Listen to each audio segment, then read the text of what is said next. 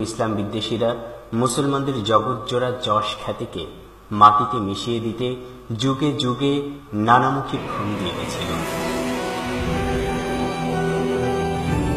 Granada tragedy তার একটি অধ্যায় মাত্র। ইসলামের সুমহান সৌন্দর্য বিশ্বের নানা প্রান্তে ছড়িয়ে পড়তে শুরু করেছিল রাসুল্লাহ সাল্লাহ ইসলামের সময় থেকে من محمد رسول الله إلى كسرى عظيم فارس. سلام على من اتبع الهدى وآمن بالله ورسوله. بسم الله الرحمن الرحيم. من محمد رسول الله إلى النجاشي ملك الحبشة. فإني أحمد إليك الله الذي لا إله إلا هو الملك القدوس السلام المؤمن المهيمن.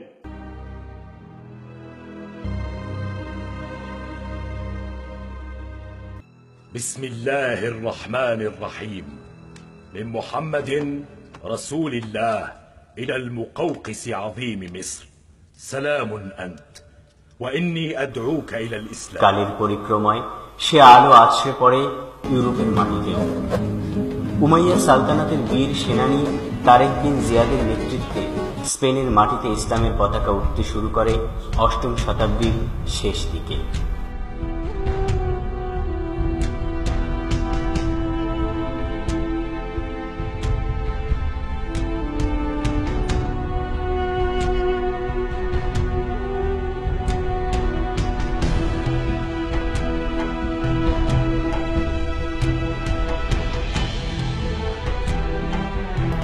জ্ঞান, বিজ্ঞান, শিল্প, সাহিত্য, চিকিৎসা, রাজনীতি, স্থাপত্য, শিল্প ও অর্থনৈতিক সমৃদ্ধিতে সে সময়কালে স্পেনই ছিল একমাত্র উদাহরণ।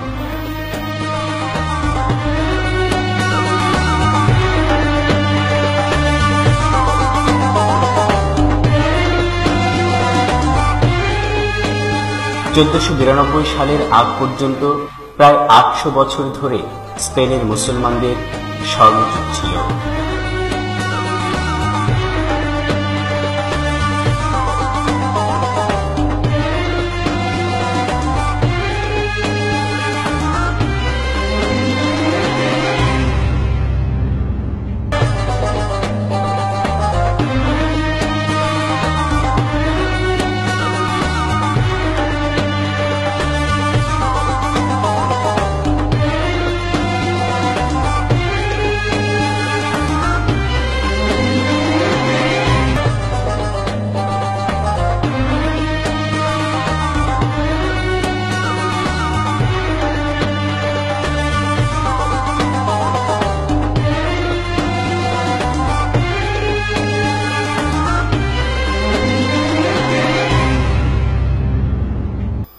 মুসলমানদের এমন উন্নতি ইহুদি খ্রিস্টানরা মোটেও পছন্দ করল না।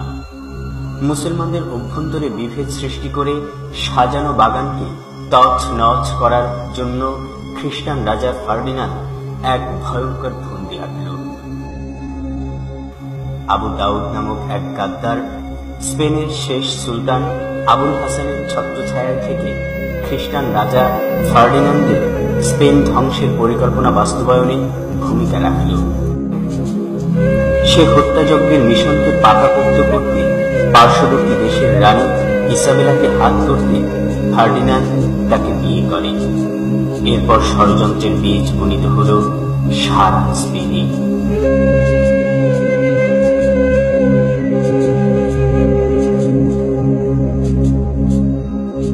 নেতৃবৃন্দের আন্তকন্দলের কারণে মুসলমানদের অবস্থা যখন এমনিতেই বিপর্যস্ত, ঠিক সে সময় ফার্ডিনান্ড হামলে পড়ল মুসলমানদের ওপর।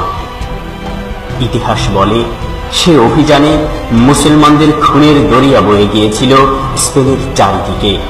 নেতৃত্বহীন মুসলমানরা জীবন বাঁচানোর জন্য যখন দিশেহারা, ঠিক তখন ফার্ডিনান্ড এর পক্ষ থেকে ঘোষণা করা হলো, যারা মসজিদে ও জাহাজে আশ্রয় নেবে, শুধু তারাই রেহাই পাবে।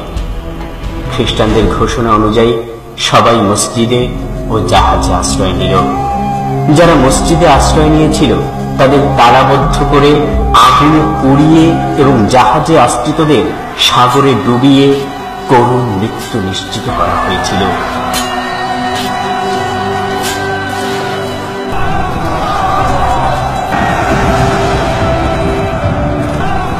লাখ বনি আদম যখন প্রাণ ছিল আত্মচিৎকারে যখন আকাশ বাতাস ভারী হয়ে উঠেছিল, ঠিক তখন মানব ইতিহাসের জঘন্যতম হত্যাকারী কুখ্যাত ঘাতক ফার্ডিনান্ড ও তার স্ত্রী ইসাবেলা আত্মতৃপ্তিতে বিকৃত অট্টহাসিতে মাতোয়ারা হয়ে বলতে থাকল, হায় এপ্রিল ফুল, হায় এপ্রিল ফুল।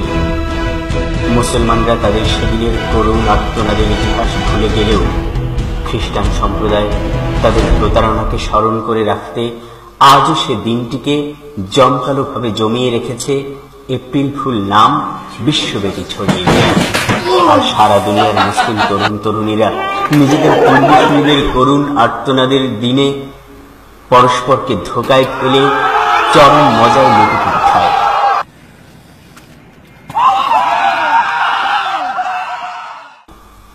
আগামী প্রজন্মের কাছে নিজেদের করুণ পরিণতির কথা অজানার তিমিরে ধামাচাপা রয়ে যাওয়া একটি জাতির জন্য কত দুর্ভাগ্যের তা বলে বা লিখে আদৌ কি ব্যক্ত করা সম্ভব?